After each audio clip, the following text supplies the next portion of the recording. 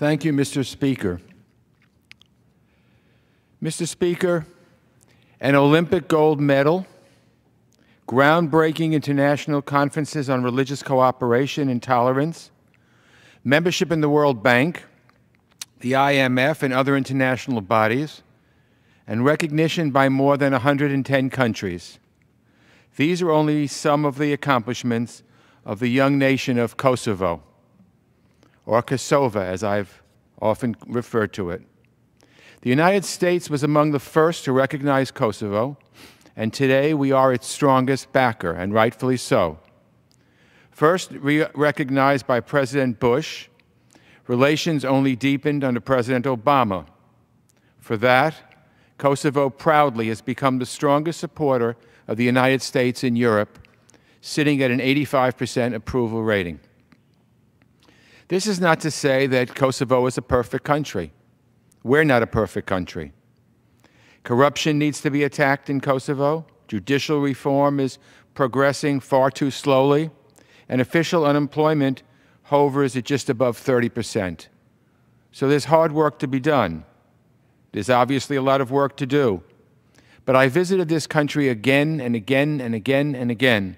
And every time I see progress, and I know there's a bright future. I've often said that as an American, I can go all around the world, but I'll never get greeted with more love and friendship than I will in Kosovo.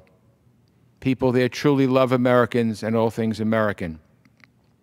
So the best way to help Kosovo is through continued strong support, as the United States has done for many years.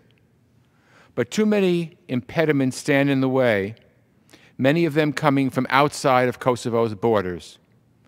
For example, Kosovo wants what most countries across the region want to become part of a secure and integrated Europe, membership in the European Union and in NATO, yet just five European holdouts stand in the way of this progress for Kosovo. And when it comes to United Nations membership, Kosovo's way forward is blocked by Serbia and its ally Russia. In fact, Serbia seeks to block Kosovo at almost every turn and lately has been escalating tensions. Both Serbia and Kosovo want to go to the Euro European Union, and I support both of them getting into the European Union. But one of those countries shouldn't try to block another one. And Serbia has repeatedly tried to make it difficult for Kosovo to get into the EU and to get other things as well. Serbia recently sent into Kosovo's north a propaganda train emblazoned with the words, Serbia is Kosovo, written in 21 languages to foment discord among Kosovo's small Serbian population. It pushed the building of a wall in Mitrovica, a tiny city straddling the cleavages of Kosovo's interethnic divide. While that wall has now come down, the scars remain.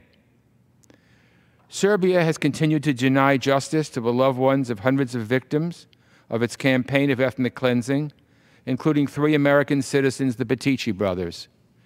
And there is all kinds of, of insults from a train and other things giving propaganda against Kosovo by Serbia, pushed to the Serbian Kosovo border, that helps to escalate tensions rather than bring them down.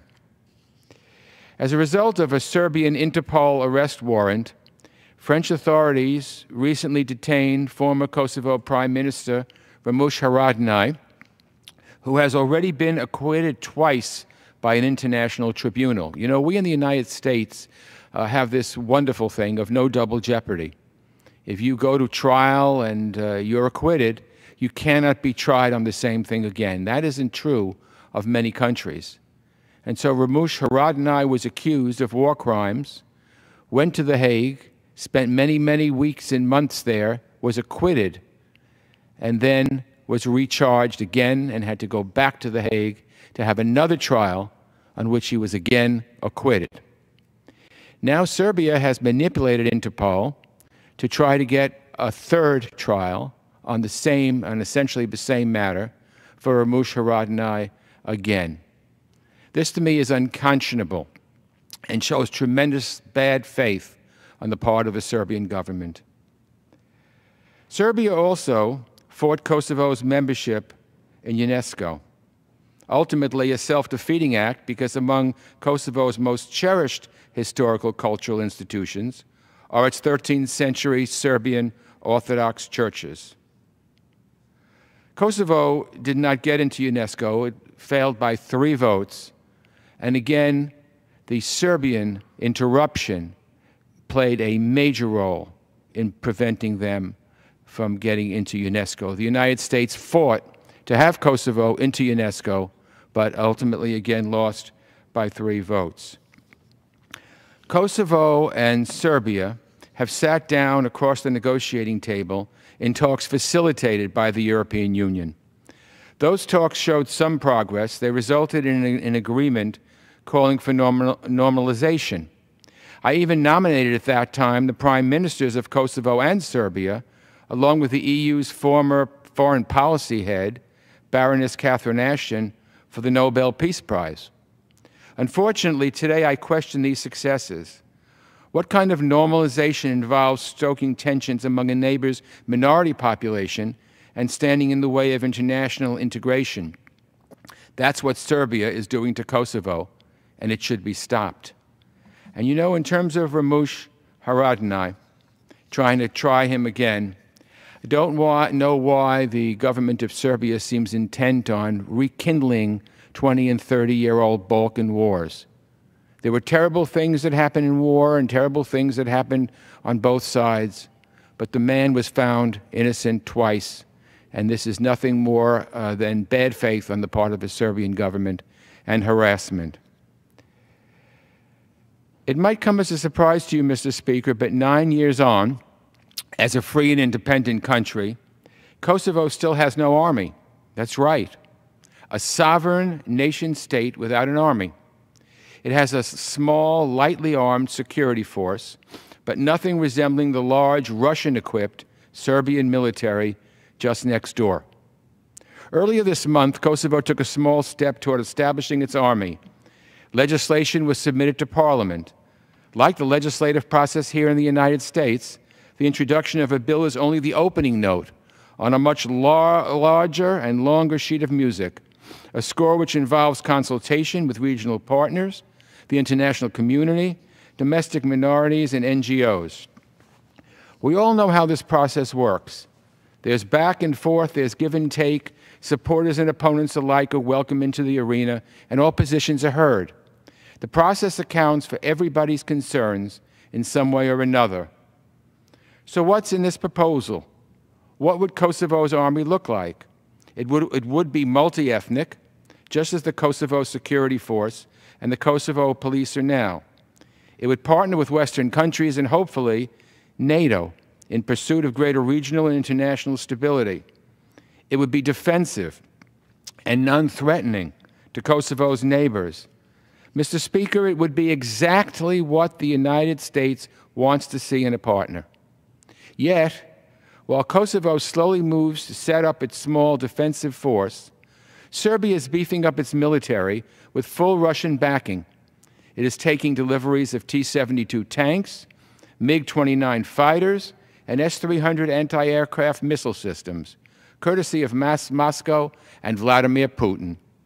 So I'm a little confused, Mr. Speaker. Kosovo, a country we support and which supports us, wants what every other country in the world has, a basic army in which its citizens can serve their nation, and probably serve alongside our own military if given the chance, what do we do? We offer rebukes and diplomatic threats, and we make it clear that we don't support Kosovo having an army at this time. That is absolutely absurd and is a position that we ought to change and change quickly. Yet Russian weapons and material are pouring into Serbia, courtesy of Vladimir Putin. And as far as I can tell, the United States has stood in silence. So regardless, Mr. Speaker, America's relation with Kosovo is strong and the future is bright. We need to stay on that course. Kosovo is a young country, and I have been there many, many times. It's not even 10 years old. We know better than anyone that building a democracy is hard work. Sometimes you'll face setbacks. Sometimes you need a helping hand. That's why American support is more important than ever. That's why the United States should work to deepen our ties, enrich our mutual understanding, and continue to bring stability to the entire Balkan region. That's the way to a more prosperous, democratic, and multi ethnic Kosovo. And that's the way for the United States to see a Balkan region free, at peace, and part of the whole of Europe. Meanwhile, France should send Ramush Haradinaj home. It, enough is enough already. We cannot stand for any more of this nonsense. The United States should stand by Kosovo. Kosovo is a free and independent country. For many years, they were fed all kinds of lies about the United States during the old communist regime in the 50s and 60s and 70s. But you know what? The people of Kosovo didn't believe a word of it. So I would say to my colleagues and to my friends and to all of our American citizens, when you visit Kosovo, you'll know and you'll be proud to be an American because people come up to you in the street and want to touch you, want to talk to you, want to do everything and be everything American. And those are the kinds of friends that we need. America does much for many, many people around the world, many, many nations, and sometimes we feel it is not appreciated, but not in Kosovo. Everything the United States has helped that country with is appreciated from everyone from the Prime Minister to the President to people in government to the average people in the street. I very often have people coming up to me in the street wanting to talk to me. They recognize me. They say thank you. Thank you to America for standing by us in our independence. Thank you to America for being strong and keeping us strong. And so those are the kinds of friends I want to have. Those are the kind of people I want to have.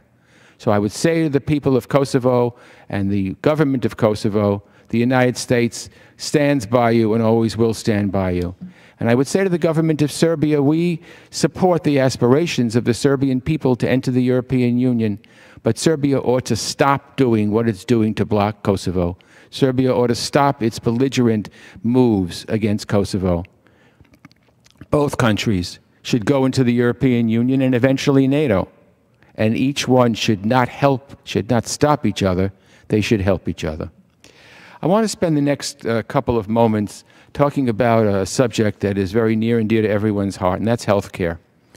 And I want to do it because tomorrow we have a big uh, health care vote uh, here in the Congress, and I think it's very uh, important uh, that we all very clearly uh, lay out what we really feel should happen.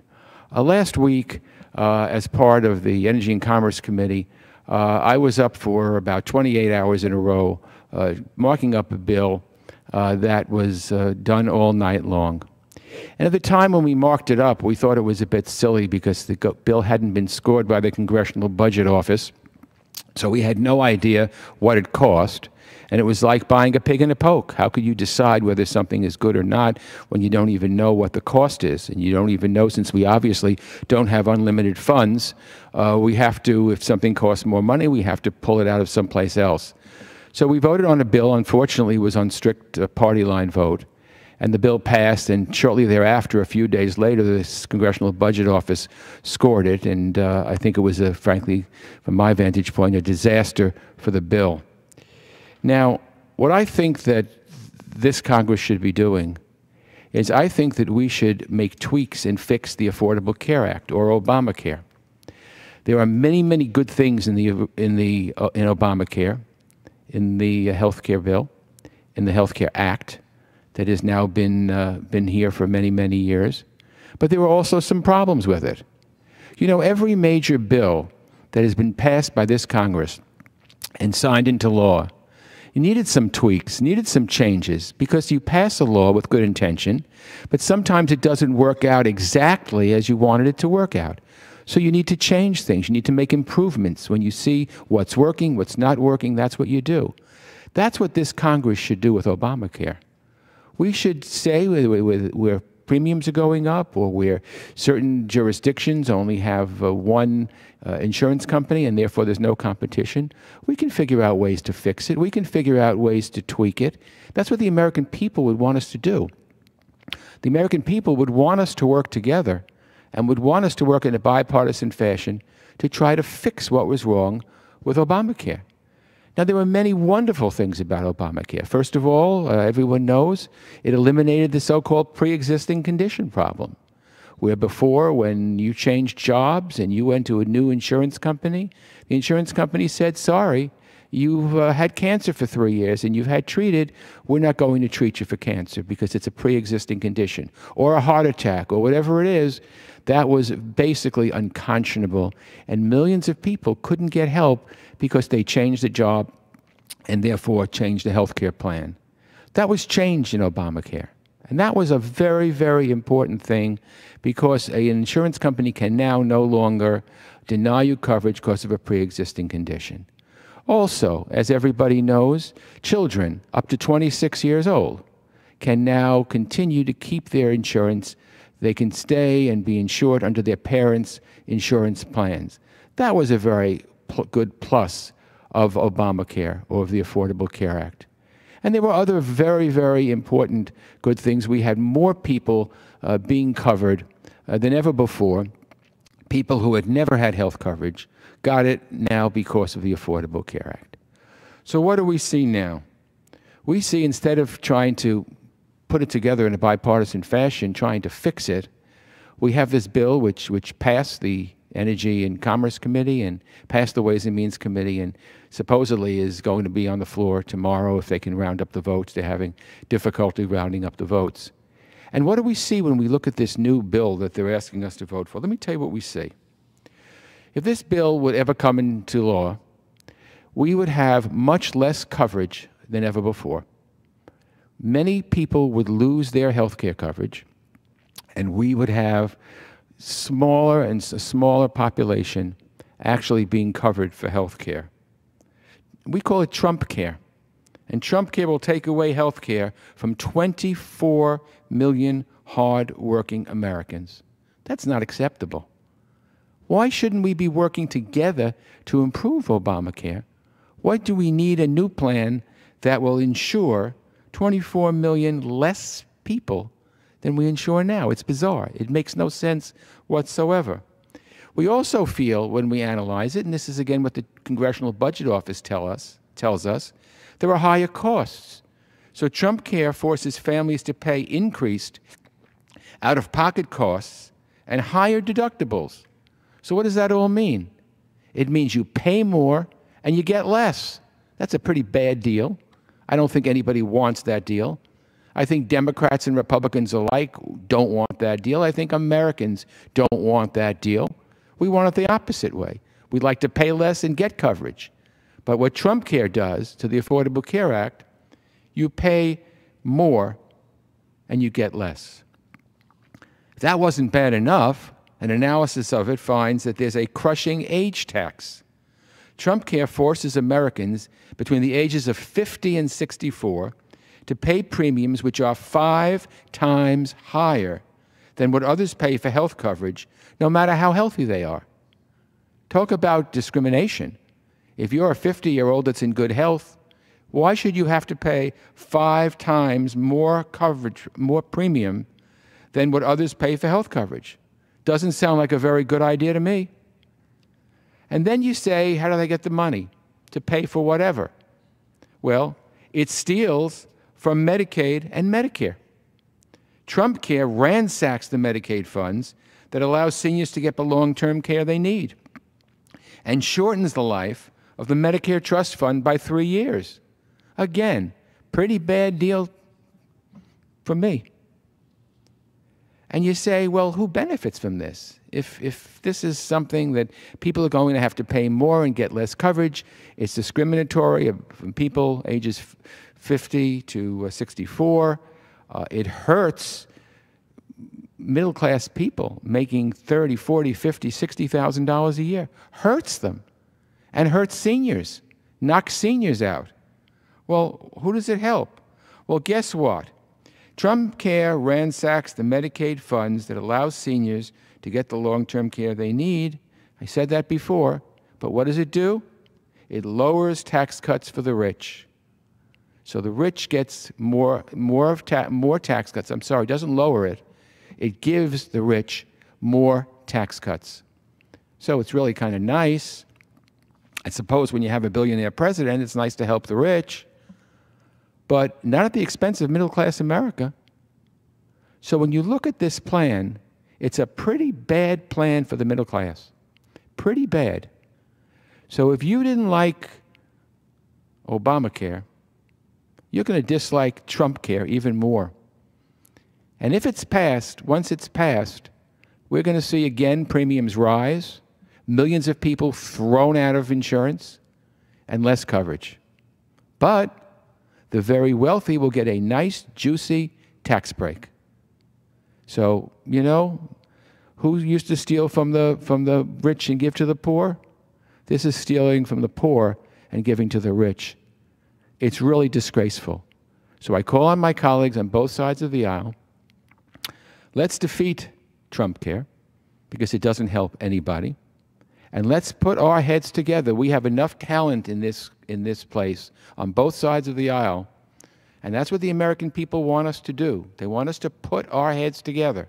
They want us to work together and come up for a plan that with a plan that aids the largest amount of people at the lowest possible cost. It won't be easy.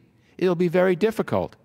But we should do it together, not jam Trump care down our throat. Not tell people about false promises when you know people are going to be thrown off. If you say, well, you know what? it's going to be cheaper. Well, it's cheaper if you throw off all the sick people and you don't give them insurance, and you throw off all the seniors and you don't help them. Well, of course it's cheaper because all the people that are sick and really need the help won't get it. And after all, what's insurance about? Insurance is there just in case you get sick. So I am very um, chagrined about this new bill. I hope it gets defeated tomorrow. And I hope that we then go back to the drawing board and come up with a program that will help the American people. Not a program that helps Democrats or a program that helps Republicans, but a program that helps Americans. Because we're all in this together. And the bill proposed by my Republican colleagues called Trump Care is not a bill for Americans that will aid them with help when they get sick. As Americans, I do believe that health care should be a right, not a luxury. I believe that the richest country that the world has ever known can give its citizens health care. I believe in the single payer health care, but even if it's not single payer, let's take the original Affordable Care Act, keep what's good, enhance what's good, and what needs to be corrected and changed, Let's do it. That's what the American people want. That's what the American people demand. And we should do nothing less. This bill ought to be defeated tomorrow. Let's go back to the drawing board and come up with something we can be proud. Thank you, Mr. Speaker. I yield back the balance of my time.